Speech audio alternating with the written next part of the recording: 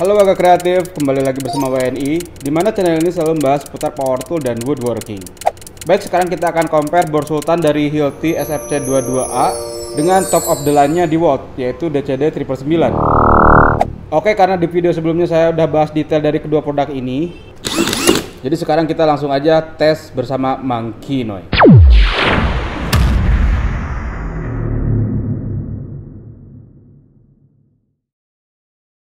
Baik, yang pertama kita akan melakukan pengeboran besi hollow dengan mata bor ukuran 13 mili.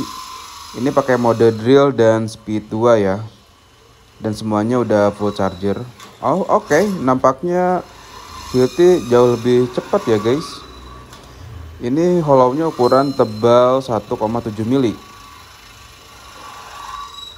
Oh, oke, okay. Hilti selesai di waktu 17 detik. Dan untuk di volt dia selesai di waktu 23 detik. Oke, lanjut ke deck screw ukuran 15 cm. Untuk Hilti pakai speed 1 dan di volt pakai speed 2 ya. Nampaknya di volt lebih unggul ya guys. Oh, Hilti cukup kewalahan ya. Kayaknya torsi dari Hilti itu memang kurang besar ya guys. Untuk kali ini di World jauh lebih cepat ya guys. Di waktu 7 detik dan Hilti di 19 detik. Baik lanjut ke berkipas ukuran 24 mili. Untuk ronde ini Hilti pakai speed 1 dan di World pakai speed 3 ya guys. Karena untuk speed 2 Hilti nggak kuat. Wow di World sangat cepat sekali ya guys. Butuh waktu 3 detik saja. Oke 6 detik. Untuk di World dan untuk Hilti di 13 detik ya guys Oke lanjut ke berkipas ukuran 24 mili. Dan kali ini di Watt pakai speed 2 dan Hilti masih pakai speed 1 ya guys. Oh di Watt sempat nyangkut dan ada fitur kickbacknya. Oke. Untuk sementara di Watt jauh lebih unggul dan lebih cepat. Eh nyangkut lagi. Oke berhasil di 13 detik. Eh nyangkut dan ada fitur kickbacknya untuk Hilti Oke, selesai di waktu 20 detik. Baik guys, lanjut ke ronde yang terakhir pakai mata bor auger bit 22 mili dan panjang 30 cm. Untuk di wall pakai speed 2 dan Hilti pakai speed 1 ya. Kita bisa lihat ya untuk vibrasi atau getaran nampaknya di watt lebih smooth dan stabil ya guys. Mungkin karena bobotnya juga dia lebih berat. Oke. Okay. Nampaknya Hilti agak kewalahan ya guys. Dan kita bisa lihat ya untuk putaran di watt masih stabil dari tenaga dan torsinya.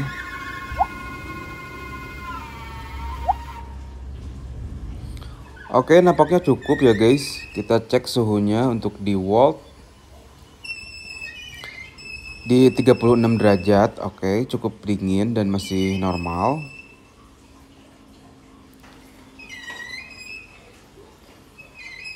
Oke, Hilti masih berjuang ya. Kita kedalamannya yang samain sama di Watt. Oke, cukup untuk Hilti. Baik guys, kita cek suhunya untuk Hilti. Oke, di 33 derajat. Jadi lebih dingin sedikit daripada di Watt. Oke, not bad. Oke guys, kita rekap aja ya.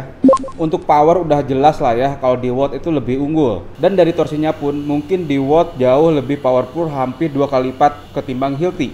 Lalu dari vibrasi atau getarannya pun Nampaknya di Watt lebih smooth dan stabil ya. Ya mungkin karena bobot dan besarnya gearbox dari di Watt ini sedikit lebih besar dan lebih berat. Tapi dari suhu mesin, Hilti lebih dingin ya, walaupun dia masih pakai carbon brush sedangkan di Watt sudah pakai brushless. Jadi mungkin kita bisa simpulkan bahwa dalaman mesin Hilti ini dari kualitas dinamo ataupun lilitan tembaganya mungkin jauh lebih kokoh dan berkualitas ketimbang di wall. Karena kalau kita lihat dari kualitas casing dan rubber-rubbernya ini mirip ya.